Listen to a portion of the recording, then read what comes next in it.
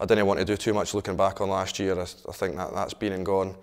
Um, I think all the players, all the players are of, of, are of the same mindset. We just need to, to focus on the on the on the future now, and, it, and it's certainly looking great in the in the hands that we've got now. We're going to learn, provided we listen. We learn. The coaching is going to be first class. So it's, it's up to us to work and, and appreciate the, the, the environment we're working in.